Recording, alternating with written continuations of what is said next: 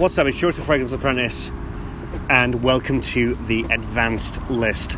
If you haven't seen the beginner or intermediate list, I would heavily advise that you do. Those lists are there for a reason, and they are for for people who are either getting into fragrance, they've got into fragrance, and they want to go a little bit further. This list is the absolute craziest fragrances that I own. They're the wildest. They are some of the most expensive fragrances that I own. They are for people who are really, really into this, people who are very enthused, people who are not afraid to wear some pretty risky shit, if I can be very brutally honest with you. Most of these will not get you compliments, in fact, most of them will get you complaints. They might lose you some friends. But who needs friends when you have fragrances? Uh, that's why I keep telling myself anyway.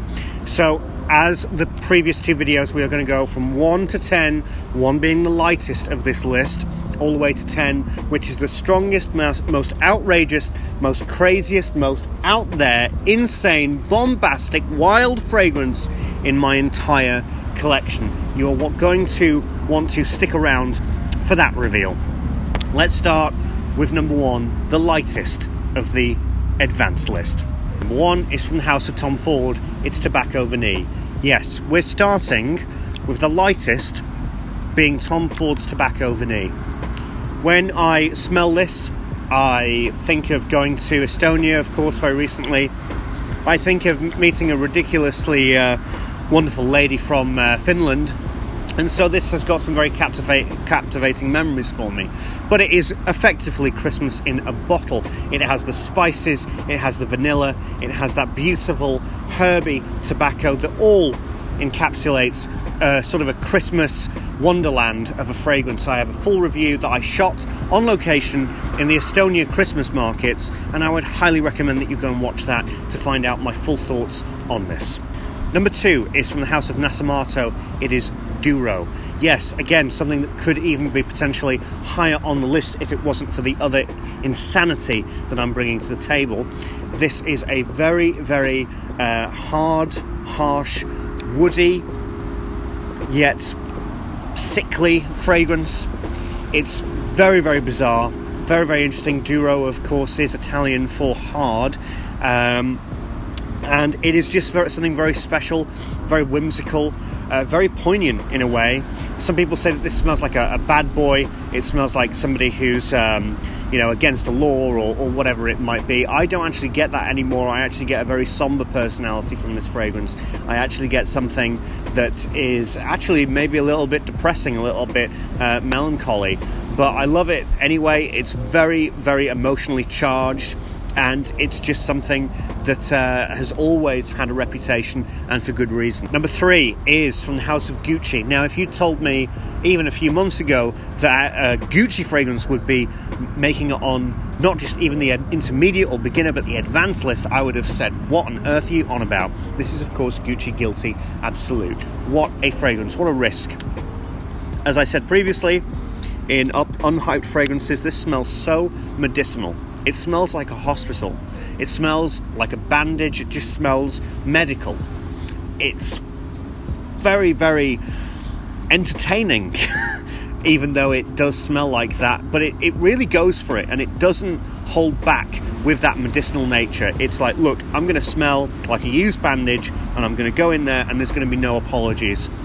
And that is fantastic. You've got to smell this just for the sheer balls of it, just for the sheer courage and bravery that went into making this fragrance. It is something very special, something very wild.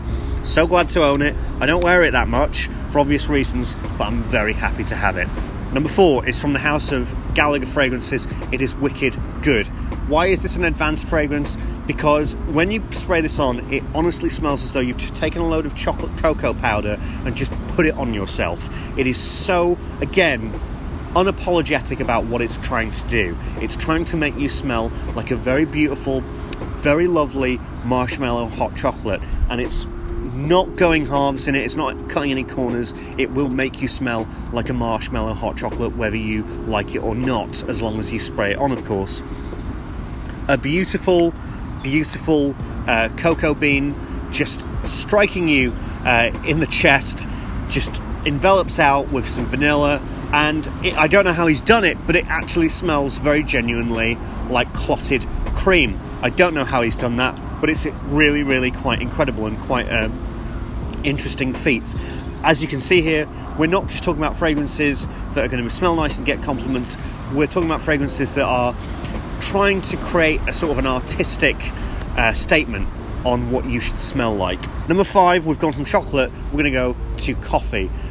Espresso Royale. It will make you smell like a used cafetiere. Brilliant. It just is one of the most genuine, genuine, authentic coffee notes ever. It is loved and equally hated. I love this, I, I adore it, I think it's absolutely amazing. But there are some people who I've spread this on and they've just gone, You're not wearing that, we're not going out with you wearing that. Put like get a shower, put Versace Eros on. But again, most of these fragrances incredibly unapologetic. It will just make you smell like coffee, and that's the deal. And it's your decision whether you want to take that deal or not. I cannot stress to you the amount of painstaking effort that it must have taken to create one of, if not the most authentic coffee bean note in the whole of fragrance. And I've smelled so many fragrances that are supposed to smell like coffee. This one really takes the cake to the point where it's too much. You understand? My favourite coffee fragrance of all time is SM Cafe because it takes the best elements of coffee and then reworks it with other notes. But that is coffee for coffee's sake. Espresso Royale. Right, number six is from the house of Masque Milano. It is Tango, or as I like to call it, Tango Unchained. This is a very, very classic, old school, old school fougere fragrance to the absolute death depths. It's like I don't know a fougere, but you've put it in a pan and you've caramelized it for about ten minutes. It's really wild, really, really sickly, really syrupy.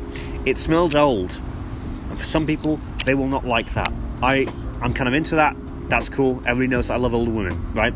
But this is, um, you can even see how dark the juice is. This smells old. This smells almost actually a little bit too old. It's going towards, you know, the retirement. Uh, it smells like the most poshest, most pristine, most well looked after retirement home you could ever want to visit. That is Masque Milano's Tango. Number seven is uh, this is Xerjoff's 400. Of course, you've heard me talk about this a tremendous amount. Incredible, incredible. Just I, I can't even begin.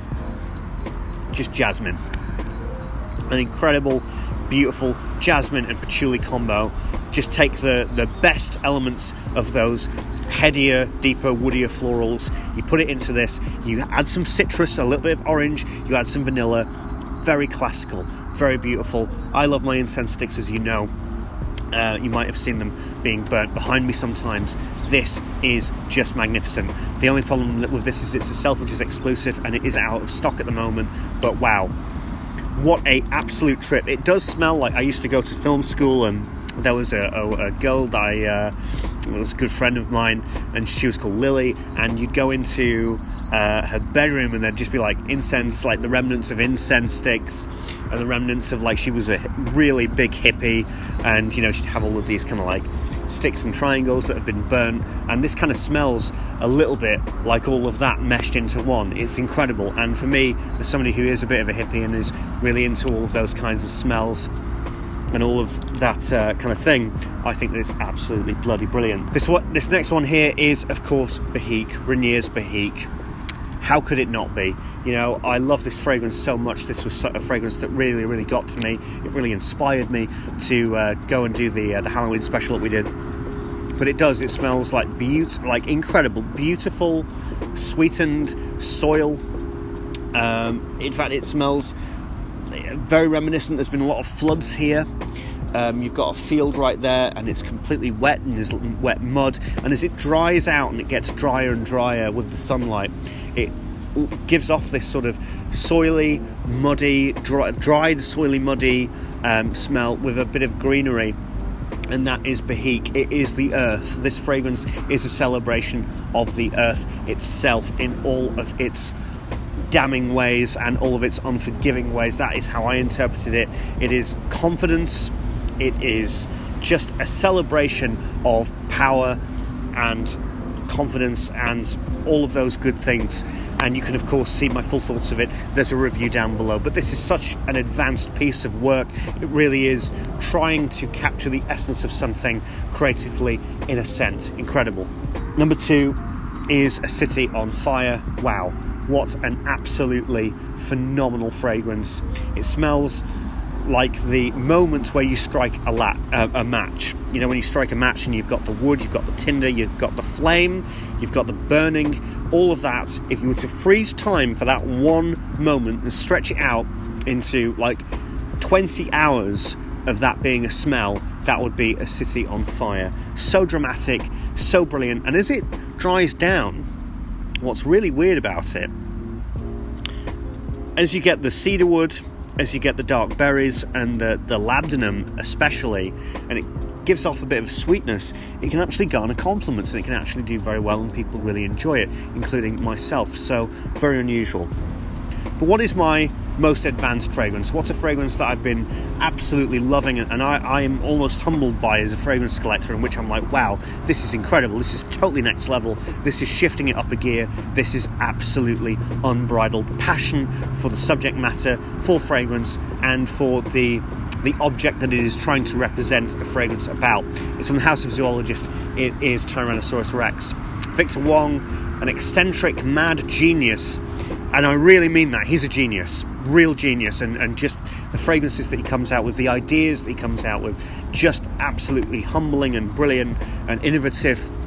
And nobody is doing anything like what he's doing at the moment. And um, as a fellow uh, creator who tries to push the boundaries with things, who tries to come up with innovative ideas uh, for this uh, fragrance YouTube sphere. I have nothing but respect for him. This is an incredible fragrance. It smells like well, it smells like fire and brimstone, if I can be brutally honest about it, with a little pinch of blood. Like there's this iron element, this metallic iron element, which smells like a little, little bit like blood.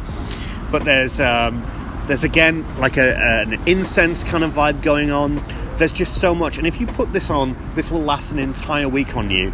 Do not go like two or three or four sprays. Don't just go one spray, tap, tap, because that is that will get you probably the whole entire day. It's such a strong fragrance. It's the strongest fragrance that I own.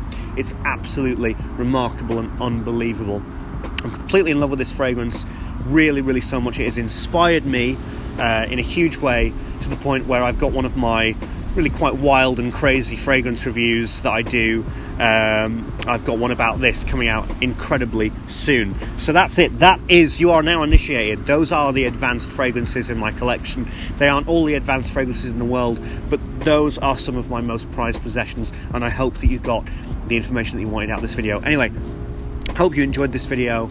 If you like this content and you want to see the very special review that I'm going to be doing of Tyrannosaurus Rex very soon, please hit subscribe and hit that notification bell, and you'll see all of my um, upcoming uploads.